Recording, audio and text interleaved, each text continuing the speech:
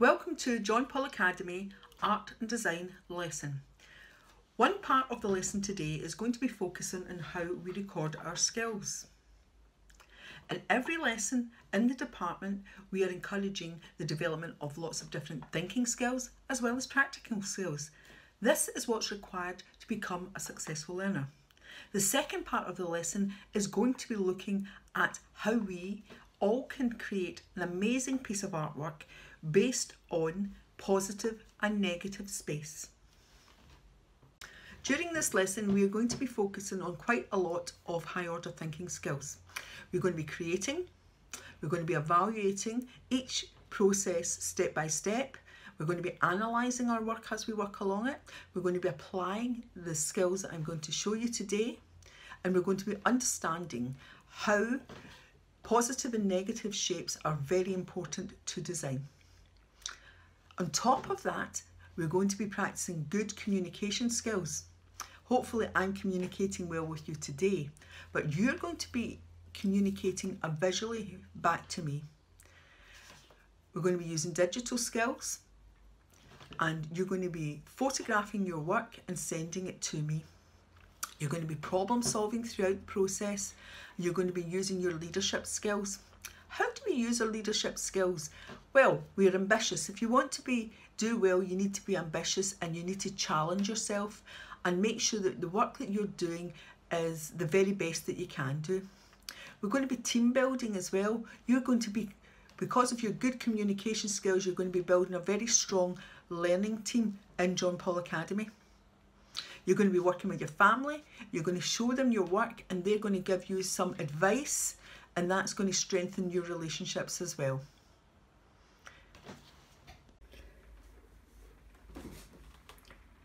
This is the equipment you will need to take part in this lesson.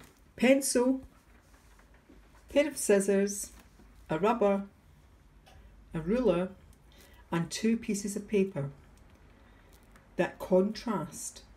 Now this can be two different colours or it could even be a plain piece of paper and a pattern piece of paper. For this experiment I'm going to use a piece of white paper and a piece of black paper. It's also good if you've got some glue, but it is not essential for you to create this piece of work. Firstly, the first steps of this is to make sure that you have your small piece of paper cut absolutely accurately. I've made mine 10 centimetres square. You can make yours bigger or smaller. Don't make it too small because you'll make it find it difficult to cut out. Now, starting at the top corner, what I'm going to do, I'm going to use a pencil to draw a pattern or a line. Now it'll be quite difficult to see on the black paper, but you'll be able to see yours better than mine. So here I'm drawing really just quite a wiggly line right? Now, you will be able to see your line. As this lesson is about positive and negative shape, it's really important that you think about the spaces between the shapes that you draw. Don't make them too near each other, but think about that as a separate shape itself. So on this other line, I'm going to come right into it. I'm keeping it quite a wiggly line. And I'm coming out. I'm coming down to the bottom here. So all the shapes are going to work around the angles. Now this time I'm going to change the shape and I'm going to make it a bit more zigzag. But I'm also considering, I'm going to curve here, how this shape works alongside that shape. So I'm looking at the spaces between my shapes as well. And then I'm moving around. So each part has a shape drawn.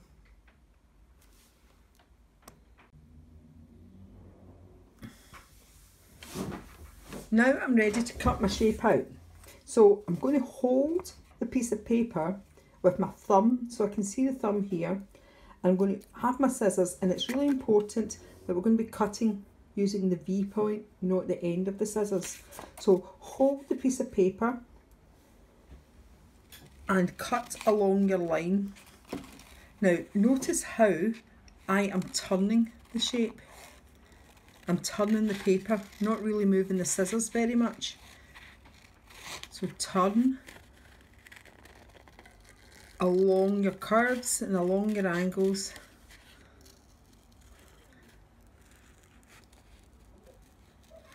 What you don't want to have is a ragged edge.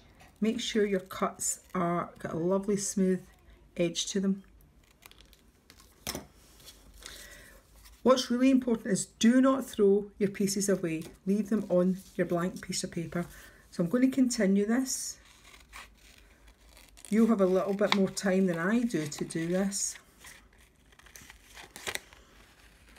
Keep twisting the paper and think about the, the words that you're using to describe these lines as well. Are they undulating? Are they jagged? And that way, not only are we creating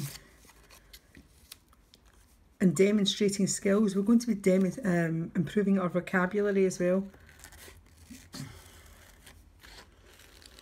So when we're finished, we should have a little shape jigsaw.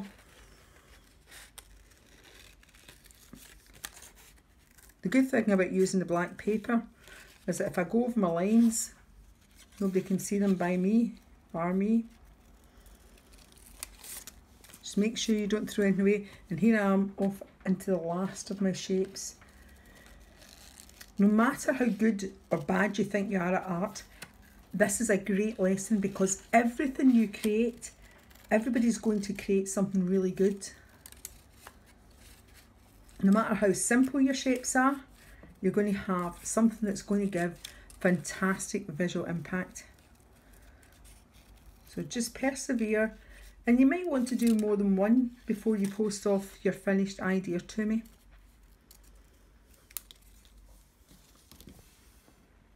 So we have a greater understanding about positive and negative shape.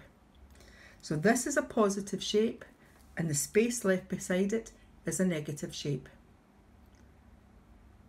This is a positive shape and this is a negative shape. So the space next to objects or around your objects become very important. Now, that could be you finished. You could take a picture and send me that. That would be brilliant. However, if you want to challenge yourself more, we can take it a step further. And we do this by taking one of your positive shapes and you could work into that and draw another shape. But when you're doing this, make sure you're still considering the shape that you're leaving. So I'm going to do something a wee bit more contrasting. I'm going to draw a kind of jagged shape. Now, I'm leaving all my other bits in the one position, that way it stops you getting kind of muddled up. Sorry, my fingers are in the way here. And I'm going to cut that shape out. I'm going to put this one back.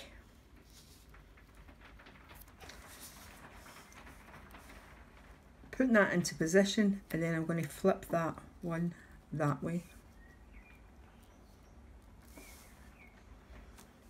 And we're starting to build and make our design more interesting. I'm going to cut, I'm not even going to draw on this one, I'm just going to cut a shape. So I'm going for a kind of contrasting shape which is a more like a semicircle. I put my original shape back down and the shape I've removed I flip over. So every time we cut something we're flipping it over in the opposite direction. Last one, now this is a wee fiddly shape, so I won't go crazy with this one, making life difficult for myself.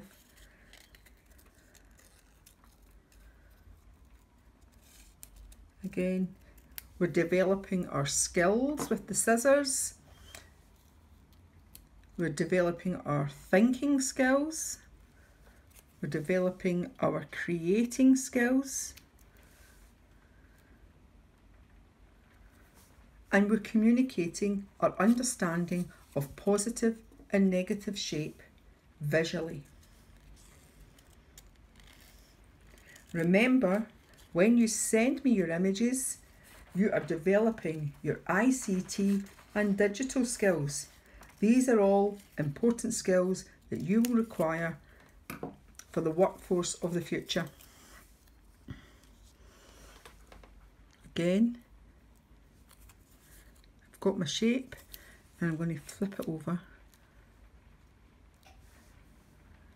Now, if you want to preserve that, you take a photograph of it.